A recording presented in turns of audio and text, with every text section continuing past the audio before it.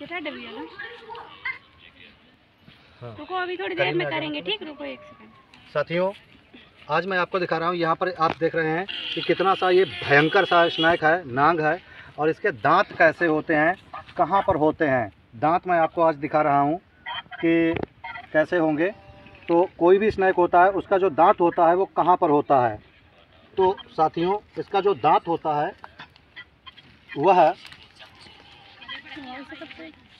ये देखिएगा, इसने खोल दिया है अपना मुख, और जो दांत होते हैं, वो ठीक जो आपका ये जो जगह है, देखिएगा, अभी आप देख देख पा रहे होंगे, जो ये दांत होते हैं, ये इस जगह पर, ये पतला सा एक दांत होता है, एक दांत इधर होता है, और एक दांत ये इस साइड में इस जगह पर होता है। स्नैक के दो दांत होते हैं बहुत ही नुकीले दांत होते हैं। इन्हीं दांतों से ही ये विष को इंजेक्ट करता है। कोई भी व्यक्ति इनके दांतों में, के चंगुल में अगर फंस गया है तो फिर ये छोड़ते नहीं उसे। अब देखिएगा, ये जो मैंने रखा है, अभी ये देखिए, इसने किस तरह से पूरे मुँह को दबाया है, और ये बूंद जो है, ये टपक रहे हैं इसके विष के। ये देखिए, इसके अंदर ही विष चला जा रहा है। बराबर ये पुश कर रहा है इसको काटने के लिए। और ये विष जो है, टपक भी रहा है नीचे तक। ये देखिए, ये टपक रहा है विष। किस तरह से?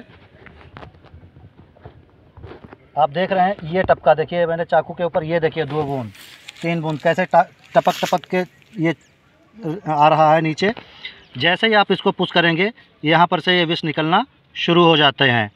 लेकिन कभी भी इनका, ये सिर्फ़ वीडियो मैंने इसलिए बनाया है ताकि आप ये देख सकें कि वेनम का कलर कैसा होता है और ये थोड़ी ही देर में सूख कर जाम हो जाता है एकदम से।